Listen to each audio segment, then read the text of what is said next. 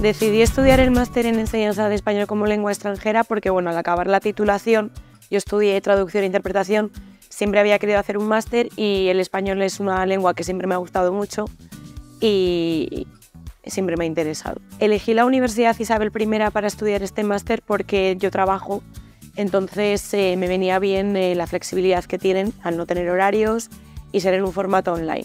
Bueno, durante este máster he aprendido la importancia de las variedades dialectales porque a veces eh, no nos damos cuenta de que el español va más allá de lo que tenemos aquí.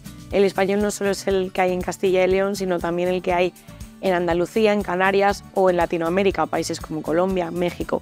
También he aprendido la importancia de em, enseñar enfocándote en el alumno, en sus necesidades y en sus características personales.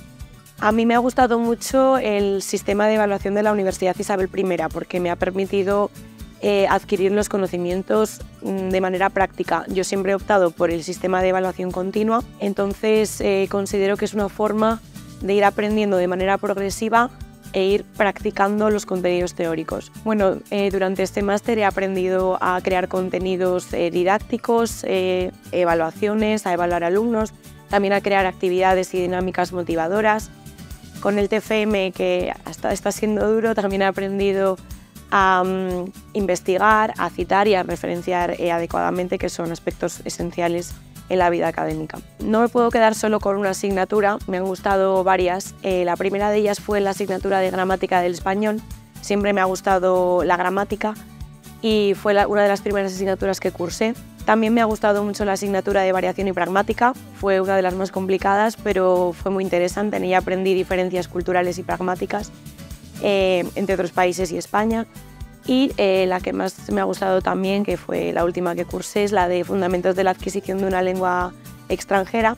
Eh, yo soy búlgara, llegué a España de pequeña, soy bilingüe, y haber estudiado los procesos de adquisición de una lengua extranjera me han hecho sentirme identificada con cosas que yo he sentido y, me ha gustado mucho también.